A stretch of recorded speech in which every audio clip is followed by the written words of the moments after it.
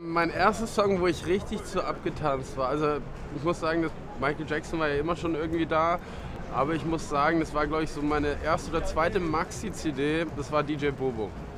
Ähm, ich, und ich meine, das war der Song Freedom. also zum Beispiel habe ich ziemlich fett gefeiert von Jeff Cat den Song Film. Da bin ich ein bisschen rumgehüpft, im Privaten natürlich. Ich glaube, es war einfach Bier. Ich komme ja aus Bayern und ich glaube, da trinkt jedes Kind als erstes Bier. Bier. Das war nämlich auf der Fahrt hierher habe ich ein Bier getrunken. Mein Bruder und ich, wir haben Penisse an die Burg Grünwald gesprüht und mit sieben oder acht und dann wurden wir von der Polizei ähm, erwischt. Das war eigentlich mehr oder weniger eine Mutprobe, weil wir haben es auch noch nie gemacht und man traut sich ja erstmal nicht so, aber wir haben es gemacht. Mein Ziel ist eigentlich, immer wenn ich auf einem Festival bin oder Konzerte, an, also ja mehr oder weniger Konzerte sehe, dass wenigstens auf dem Festival einmal äh, gestagedive bin.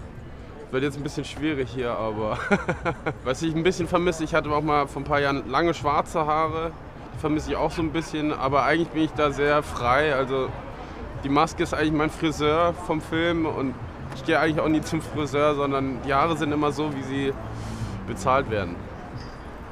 Die war äh, komplett kurz rasiert, also nicht glatze, aber relativ kurz. Und hier vorne war einfach so wie so ein Pony runter. Das sah ziemlich beschissen aus.